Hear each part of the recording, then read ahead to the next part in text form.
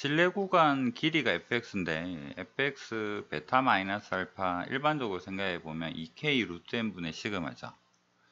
2k의 루트 n 분의 시그마다.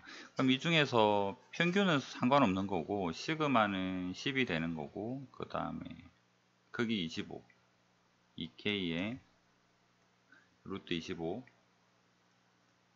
그 다음에 시그마는 10이다 4k죠 그래서 z값 k값 결정되면 바로 음, fx를 알 수가 있다. 그럼 fx1이 2가 된대요. F의 x1은 4k k1 할까?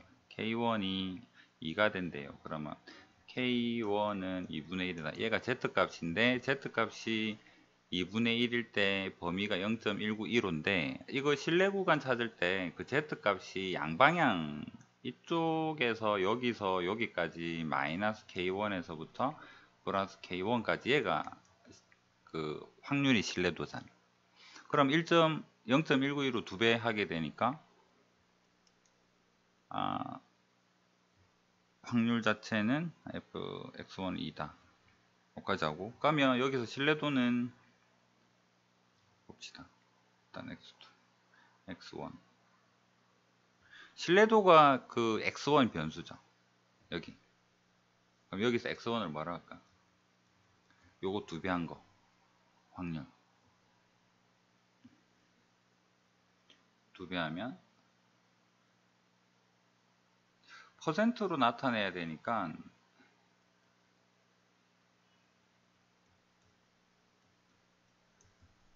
여기까지는 이해되겠습니까? 그러면 같은 방법으로 fx2는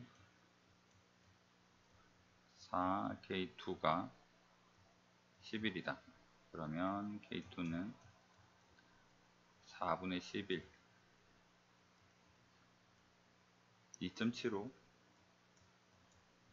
그러면 2.75에 해당되는 게 얘고. 그러면